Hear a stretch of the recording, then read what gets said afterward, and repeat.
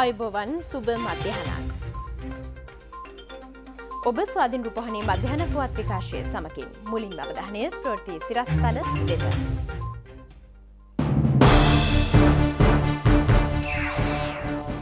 ඉතර වූ ෆයිසර් එන්නතට මොකද වනේ හමුදාපති පැහැදිලි කරයි. උද්ඝෝෂණ නිසා උණුසුම් වූ පාර්ලිමේන්තුව. උද්ඝෝෂණ නැවැත්වීමට එරෙහිව සමග ජන බලවේගය උසාවියයි. පාතාලයේ චමීගේ ප්‍රධාන ගෝලෙක් අත්තඩංගුවට. ඔලිම්පික් කල් දමන්න ජපාන වැසියෝ ටෝකියෝ නුවර විරෝධතා අරබයි. ඉන්දීය ක්‍රිකට් තරගාවලියටත් ලංකාවේ ජේෂ්ඨයින් නැතිවෙයිද.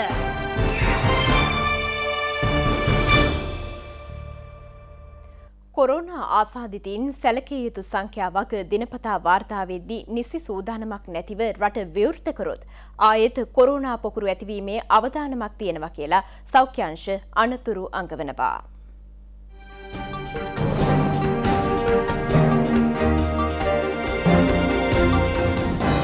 දෛනිකව කොරෝනා සාධිතින් වාර්තාවීම තවදුරටත් ඉහළ මට්ටමක පවතිනවා. එවැනි වාතාවරණයක් තුළ නිසි සූදානමකින් තොරව රට විවෘත කළහොත් නැවත කොරෝනා පොකුරු බිහිවීමේ ඉඩකඩ පවතින බව නියෝජ්‍ය සෞඛ්‍ය සේවා අධ්‍යක්ෂණරාල් විශෂන්න වෛද්‍ය හේමන්ත හේරත් මහතා පෙන්වා දෙනවා. සූදානමකින් තොරව රට විවෘත කරොත් නැවත පොකුරු ඇතිවීමේ ඉඩකඩක් තියෙන බව මේ අවස්ථාවේ අවධාරණය කරන්න වෙනවා. අපේ සංචරණ සීමාවන් පිළිබඳව අපේ වගකීම අපි ඒ ආකාරයෙන් ඉෂ්ට කළොත් පමණයි මේක ක්‍රියාත්මක කරන්න පුළුවන්. එහෙම නැතුව නීතියෙන් කිරීම මං හිතන්නේ ප්‍රායෝගික වෙනවායි කියලා. මේ අතර මෙරට රැඳී සිටින විදේශකයන් ලබාගෙන ඇති සියලුම වීසා බලපත්‍රවල වලංගු කාලය අද සිට අගොස්තු තිහ දක්වා දීර්ඝ කිරීමට ආගමන හා විගමන දෙපාර්තමේන්තුව තීරණය කර තිබෙනවා. එම කාලය තුළ කල්ලිකුත් වන වීසා සඳහා ගාස්තුව පමණක් අයකන අතර දඩමුදල් අය නොකන්න බවයි එම දෙපාර්තමේන්තුව සඳහන් කරන්නේ. මේ අතර මේ දක්වා මෙරටින් කොරුණා සාධිතින් දෙලක්ෂ හැට නවදහස් නවසේ හතලිස් හයි දෙනෙකු හමුවේ තිබෙනවා. ඒ අතරින් විසිහත් දහස් එකොළොස් දෙනෙකු රෝහල්ගතව ප්‍රතිකාර ලබන අතර මෙරට සුවේ ලැබූ සමස්ත කොරුණා ආසාධිතින් සංඛ්‍යාව දෙලක්ෂ තිස් නවදහස් පන්සිය අසූ හතරක්. කොරෝනා මරණ තුන්දහස් තුන්සිය අනු එකක්ද සිදුව තිබෙනවා. ඊයේ දිනය තුළ මෙරටදී සිදු කළ ඇති පිසිR පරීක්ෂණ සංඛ්‍යාව දහදහස් පන්සිය පනස් නවයක් බවයි සෞඛ්‍යාංශය පවසන්නේ.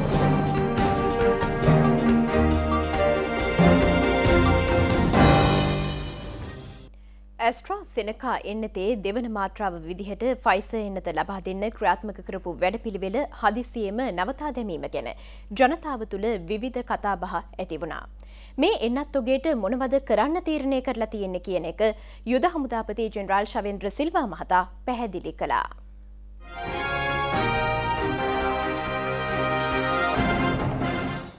ඊයේ දිනේ නාස්තුම් පස්සේ ඉතුරු දේවල් කාටද යන්නේ කියලා මමත් දැක්කා සමහර වාර්තා කරන කියනවා මේවා VVIP ලට ගහනවා කියලා නැහැ. මේ ෆයිස එන්නත් ලබා දෙන්නේ විදේශ රටවල් වල යෑමට බලාපොරොත්තු ඉන්න ශිෂ්‍ය ශිෂ්‍යාවන් ඉන්නවා. ඒ ළමයිට විදේශ රටවල් වල එන්නත් කරනෙන් තොරව ඒ රටවල් වලට ඇතුළු වීමට හැකියාවක් නැහැ කියලා දැනුම් දීලා තිනවා. සමහර රටවල් තිබෙනවා ෆයිසෙන්නද පමණයි පිළිගන්නේ. ඉතින් ඒ ළමයි මේ වන විට ශ්‍රී ලංකාවේ 1130ක් ඊයේ වෙන විට රෙජිස්ටර් වෙලා තියෙනවා. ඒ අයවලුන්ගෙන් ඊයේ වෙන විටත් රෙජිස්ටර් වෙලා හිටපු අයවලුන්ට ශ්‍රී ලංකා යුද හමුදා රෝහලේදී මේ ෆයිල් සෙන්නත ලබා දීමට කටයුතු කරන ලැබුවා. ඉතුරු අය කට්ටියටත් අද දිනේ සහ හෙට දිනේදී මේ ආකාරයේ ෆයිල් සෙන්නත ලබා දෙනවා. ඊට අමතරව ඉතුරු තොගය මන්නාරම ප්‍රදේශයේ දීවරයන් සහ උතුරු ප්‍රදේශවල ජනතාව යනවා මේ මුහුදට. එහිදී විශාල වශයෙන් ඔය ඉන්දියාවෙන් එන කට්ටියත් එක්ක හමු වෙනවා කියනවා, ගැටෙනවා කියනවා. තෝරාගත් එවැනි දීවරයන් ඇතුළු කණ්ඩායමකට තමයි පයිසෙනද මන්නාරම් ප්‍රදේශයේ ලබා දීමට කටයුතු කරන්නේ දැනට හම්බෙච්ච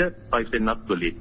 අවදානම් කණ්ඩායම් සඳහා ෆයිසර් එන්නත ලබාදීමට කටයුතු කිරීමෙන් රට තුළ ආරක්ෂාව තහවුරු වන බව නියෝජ්‍ය සෞඛ්‍ය අධ්‍යක්ෂ ජනරාල් විශේෂඥ වෛද්‍ය හේමන්ත හේරත් මහතා පෙන්වා දෙනවා. අවධාරණය කළ යුතු තව දෙයක් තමා ෆයිසර් එන්නත ලබා දීම ඊටාම සංකීර්ණ ක්‍රියාවලියක්. ඒ සඳහා ඊටා සුළු කාලෙකින් ඒ කාර්ය මණ්ඩලය පුහුණු කරලා මේක සෙන්ටිග්‍රේඩ් අංශක ඍණ 70 උෂ්ණත්වයේ තිබිලා සාමාන්‍ය උෂ්ණත්වයට ගෙන එන තෙක් ඊටමත් අවදානම් රාජකාරියක් මේ සෞඛ්‍ය සේවකයන් කරන්නේ. ඒ නිසා මේක නිකම් පහසුවෙන් කරන කටයුත්තක් කියලා හිතන්නත් එපාය කියන එක ඊටා වැදගත් වෙනවා. එන්නත් ඔක ලැබෙන පරිදි මන්නාරම දිස්ත්‍රික්කයේ තවත් අනෙක් ප්‍රදේශ දක්වාත් මේක ව්‍යාප්ත කරන්න පුළුවන්. නමුත් ඒ සියල්ල තීරණය වන්නේ ඉදිරියේදී ෆයිසර් එන්නත් ලැබෙන ප්‍රමාණය මතයි. ඒ දීවර කණ්ඩායම් වලට මේක ලබා දීම හරහා රටේ ආරක්ෂාවත් විශේෂයෙන්ම ඉන්දියාව වැනි විශාල ප්‍රදේශවල පැතිරලා තියෙන රෝග තත්ත්වයක් තියෙන ඒ වගේම ප්‍රභේද පැමිණීමට තියෙන ඉඩකඩක් තියෙන ප්‍රදේශ හරහා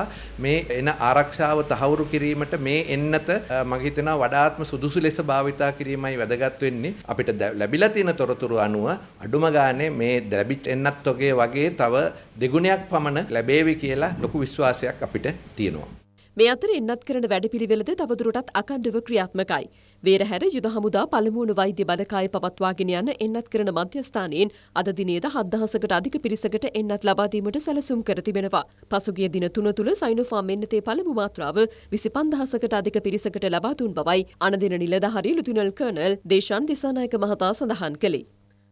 කොළොන්නාව සෞඛ්‍ය වෛද්‍ය නිලධාරී කාර්යාල එන්නත් කරන වැඩසටහන සාර්ථකව ක්‍රියාත්මක වන්නේ ගුවන් හමුදාවේද සහාය මතයි. අද දිනේදී එදහස් පන්සියකට එන්නත් ලබාදීමට සැලසුම් කර තිබෙනවා.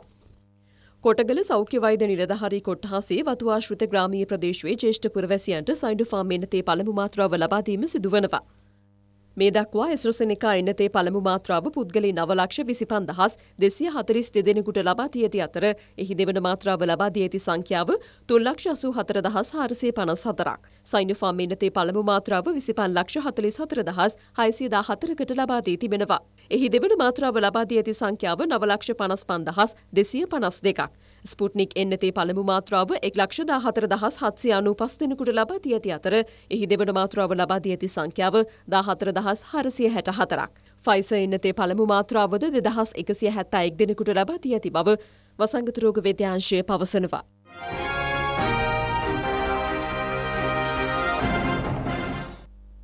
සෞඛ්‍ය මාර්ගෝපදේශ ක්‍රියාත්මක වෙද්දි පැවැත්වෙන විරෝධතා සම්බන්ධයෙන් පාර්ලිමේන්තුවේදී උණුසුම් කතාබහක් ඇතිවුණා.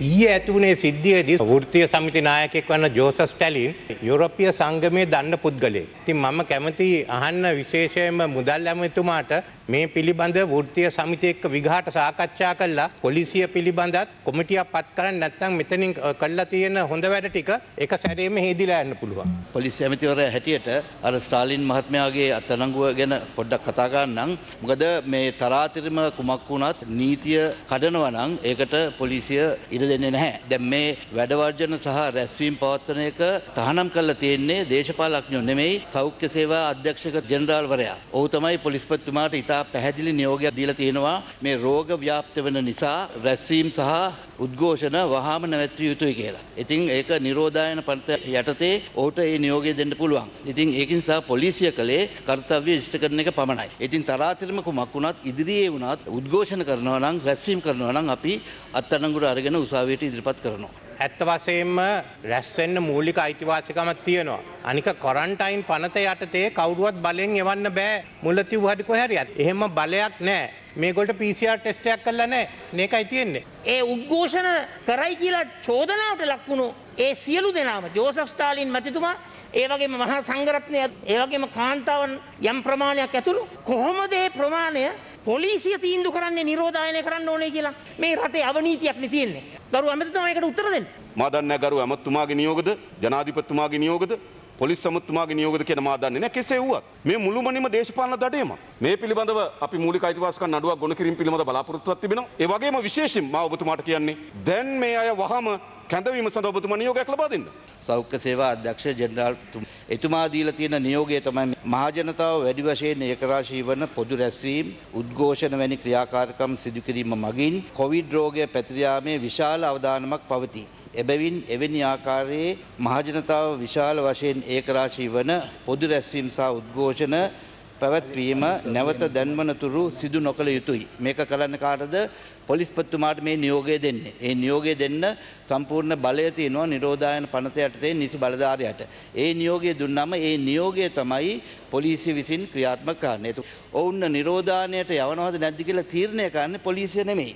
ඒ තීරණය කරන්නේ PHI. මේකින්ද කවදාකවත් නිරෝධායනය අපි නතර කරන්නේ නැහැ. ඒ වගේම උද්ඝෝෂණ වලට රැස්වීම වලට අත්අඩංගුවට ගන්න එකත් අපි කිසිසේත්ම නවත්තන්නේ නැහැ කියන එක ඉතාම පැහැදිලිව අපි කියා සිටිනවා. සෞඛ්‍ය මාර්ගෝපදේශ යොදාගෙන සාමකාමී උද්ඝෝෂණ මැඩ පැවැත්වීමට ගන්නා ක්‍රියාමාර්ගයෙන් මූලික අයිතීන් උල්ලංඝනය වන බවට තීන්දුවක් ලබා දෙන්න ඇයිලා සමගි ජනබලවේගය පෙත්සමක් ගොනු කළා.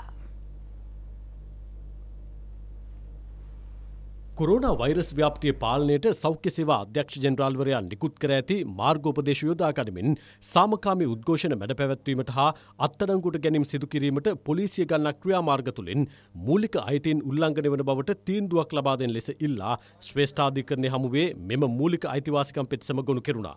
සමග ජනබලවේගේ මහලකම් රංජිත් මද්දුම් බණ්ඩාර හර්ෂණ රාජකරුණ හා මයන්ත දිසානායක යන පාර්ලිමේන්තු මන්ත්‍රීවරුන් මෙම පෙත්සම ගොනු කළා.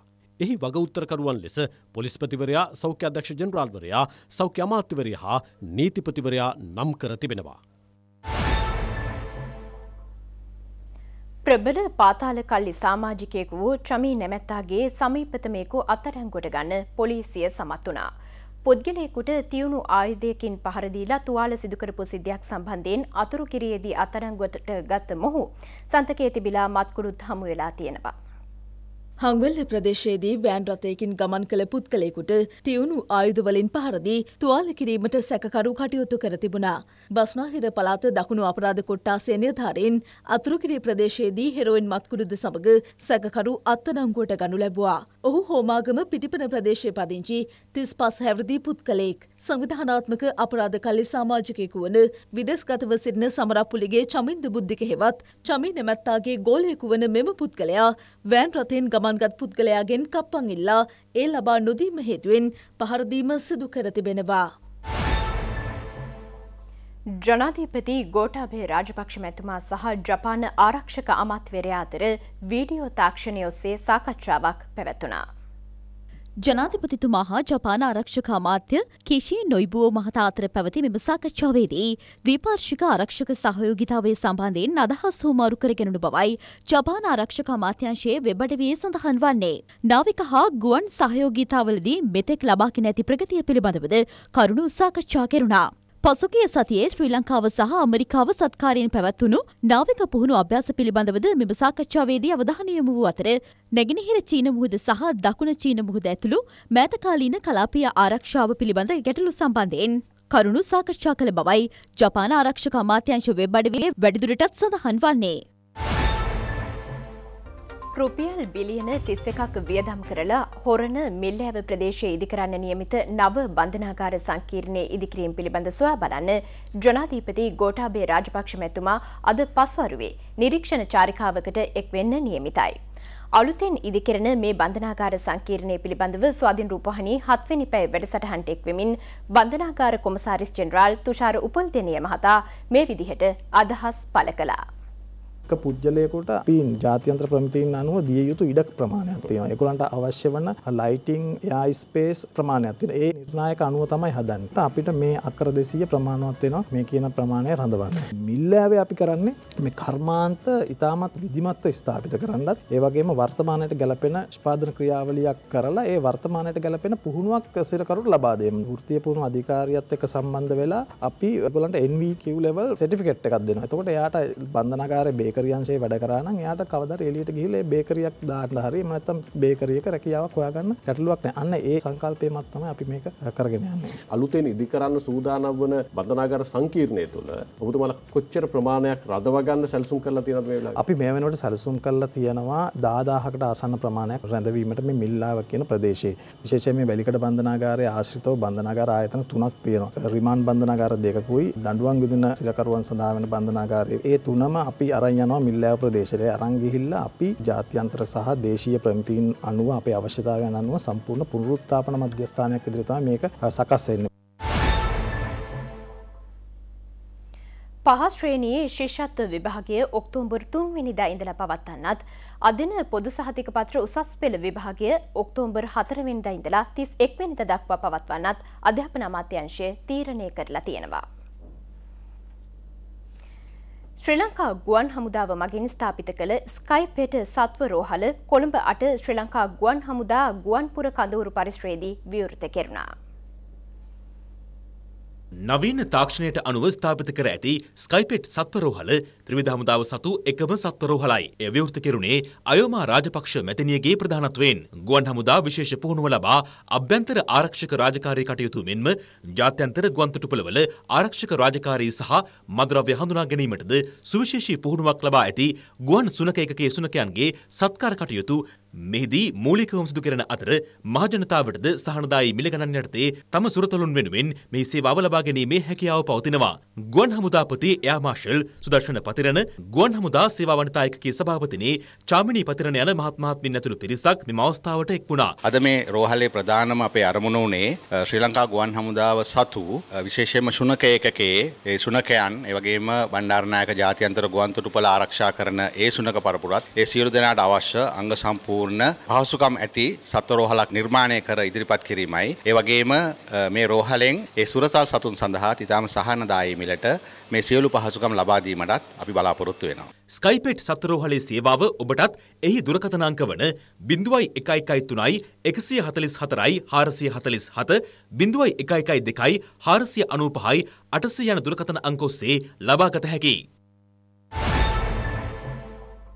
දැනට උද්ගත වෙලා තියෙන විනිමය අර්බුදයට හේතුව පසුගිය රජයේ සීමාවකින් තොරව බහණ්ඩ ගෙන්නලා වෙළඳපොළ පුරෝපු එක බව අමාත්‍යාචාර්ය බන්දුල ගුණවර්ධන මහත්මයා පෙන්වලා දුන්නා.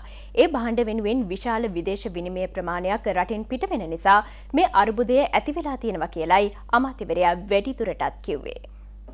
ලංකාවේ ඉතිහාසයේ විදේශ විනිමය අර්බුදයක් තිබෙනවා. ඒට හේතුව තමයි පසුගිය රජය විසින් වක්කඩ කැඩුවල් ලෙස සියලූම බහන්්ඩ නිදැල්ලේ ආනයනය කල්ල වෙළඳපොල පුරෝලති. තකොට ආනයනය වෙනුවෙන් විශාල විදේශ විනිමය ප්‍රමාණය රටින් පිටට යනකොට. ඒ ඇතිවෙන ගෙවුන්ශේෂ හිංගිය පියව ගැනීම සඳහා අසාමාන්‍ය ලෙස නය අරන්ති. විදේශ ණය ගැනීම පිළිබඳ ලංකා ඉතිහාසයේ වාර්තාවක් තියල තියෙනවා. යහපාලන රජයේ අවසාන මාස දහට තුළ ජාත්‍යන්තර වෙළඳපොල්ට ගොහිල්ලා. ඇමරිකානු ඩොලර් බිලියන හයයි දසම නමයක් ගිනි පොලියට ජාත්‍යන්තර වෙළඳ පොලෙන් අරන්තියෙන්. හය දසම නමයක් කියන මුණු රටේම තියෙන ජාත්‍යන්තර සංචිතයවත් නෑ හය දසම නමය. ඒ ප්‍රමාණය කොච්චර බරපතරද කියනවන උපනූපන් පරම්පරාවල් වලට හිමිවිය යුතු හම්බන්තොට වරාය විකුණල ගත්තේ ඇමරිකානු ඩොලර් එකයි දසම හතරයි. ලංකාවට ලැබුණ ප්‍රධානම ආයෝජනය වන පෝට් සිටි ව්‍යාපෘතිය එකයි දසම හතරයි. හම්බන්තොට වරාය පෝට් සිටියයි දෙකම ගත්තොත් දෙකයි දසම අටයි. නමුත් අවසාන මාස දහට අරන්තියන ණය ප්‍රමාණය හයයි දසම නමයක් ඩොල බිලියන්. ඉතින් ඒක විශාල ඩොල ප්‍රමාණයක් ගෙවන්න තියෙනවා මේ මාසය තුළ අද ඉඳලා ලබන එකොළොස් වනද දක්වා වැසි තත්වයේ වැඩිමීමක් ඇතිවෙනවා කියලා කාලකුණ විද්‍යා දෙපාර්තමේන්තුව නිවේදනය කරලා තියෙනවා. ඇතැම් ප්‍රදේශවලට ගිගුරුම් සහිත වැසි ඇතිවීමේ ඉඩකඩ පවතිනවා කියලයි එම දෙපාර්තමේන්තුවේ අධ්‍යක්ෂ ජෙනරාල් අතුල කරුණානායක මහත්මයා පවසන්නේ. නමය දහය එකොළහ වගේ දිනයන්වලදී විශේෂයෙන්ම දිවයිනේ නීති දිග කොටසේ වැසි තත්ත්වය ගත්තාම බස්නාහිර සබරගමු දකුණු මධ්‍යම සහ වයඹ වගේ පළාත්වල විටින් විට වැසි හෝ ගිගුරුන් සහිත වැසි තත්ත්වයන් නිර්මාණය වෙනවා. ඊට අමතරව දිවයිනේ සෙසු පළාත්වල ගත්තම ඌව නැගෙනහිර මුලතිව් වගේ දිස්ත්‍රික්කවල සන්ධ්‍යා කාලයේ හෝ රාත්‍රී කාලයේ වැසි හෝ ගිගුරුන් සහිත වැසි තත්ත්වයන් නිර්මාණය වෙනවා. සුළඟේ තත්ත්වයේද වැඩිවීමක් අපි අපේක්ෂා කරනවා. වැසි පවතින විට සුළඟේ වේගය පැයට කිලෝමීටර් 60 70 දක්වා ඉහළ යෑමේ තත්ත්වයන් තියෙනවා తాවකාලිකව. ඊට අමතරව අකුණු අනතුරු ඇතිවීමේ තත්ත්වයන් තියෙන්න පුළුවන්. කංකසන්තුරේ ඉඳන් පුත්තල මහරා පොතුවිල් දක්වාම තියෙන වෙරළවඩ තීරයට ඔබ්බෙන් තියෙන ගැඹුරු සහ නොගැඹුරු මුහුත් තීරවලත් තැනින් තැන වැසි හෝ ගිගුරුන් සහිත වැසි තත්ත්වයන් නිර්මාණය වෙනවා. සුලන් තත්ත්වයේත් වැඩිවීමක් අපි අපේක්ෂා කරනවා. 9 10 යන දිනයන්වලදී මේ මූ සීමා රළු වීමේ හැකියාවක් තියෙනවා කියන එක අපි දීවරහ නායක ප්‍රජාවට දැනුවත් කරනවා.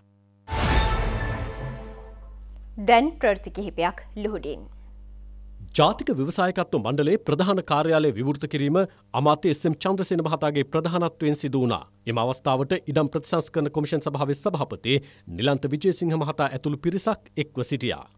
පුරාවිද්‍යාව පිළිබඳ විශිෂ්ට සොයා ගැනීම් සිදු කළ පුද්ගලින් ඇගේීමේ උළෙලක් පැවැත්වුණේ රාජ්‍යමාත්‍ය විදුර වික්‍රමනායක මහතාගේ ප්‍රධානත්වයෙන්. පුරාවිද්‍යා දිනය වෙනුවෙන් සංවිධාන කළ එම වැඩසටහන පැවැත්වුණේ පුරාවිද්‍යා ශ්‍රවණාගාරයේදී.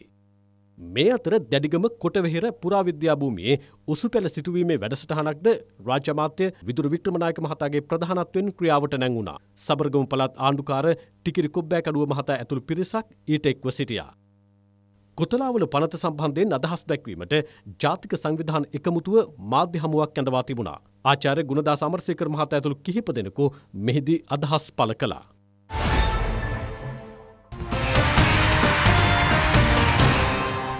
ශ්‍රී ලංකාව සහ ඉන්දියාව අතර ආරම්භවීමට නියමිත එක් දින හා විස්සයි විස්ස ක්‍රිකට් තරඟාවලය සඳහා වූ ක්‍රඩකින් විසි පස් දෙනෙකුගෙන් සමන්විත ශ්‍රී ලංකා සංචිතය නම් කර ඇති බවට වාර්තා වනවා.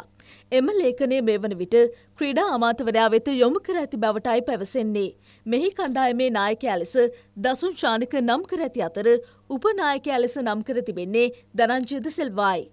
සංචිතය සෙසු ක්‍රේඩකින් ලෙස කුසල් ජනිත් පෙරේරා අවිශ්ක ප්‍රනාන්දු පැතුම් නිශ්ශංක චරිත් අසලංක වනිදු හසරංග රමේශ් මෙන්ඩිස් චාමික කණ්ඩාරත්න සහ දුෂ්මන්ත චමේර ඇතුළු ක්‍රීඩකින් කීප දෙනෙකු නම් කර තිබෙනවා. කෙසේ වෙතත් මෙම ක්‍රීඩකින් විසිපස් දෙනාගේ සංචිතයට ජේෂ්ඨ ක්‍රීඩකින් වන දිනේශ් චන්දිමල් අසෙල ගුණරත්න සහ දෙල්ෂාන් මුණවීර යන ක්‍රීඩකින් ඇතුළත් වන හැ. මේ සම්බන්ධයෙන් කළ විමසීමකදී ශ්‍රී ලංකා ක්‍රිකට් ආයතනය සඳහන් කළේ ඉන්දිය තරගාවලිය සඳහා තවමත් නිල වශයෙන් සංචිතයක් නම් කර නොමැති බවයි.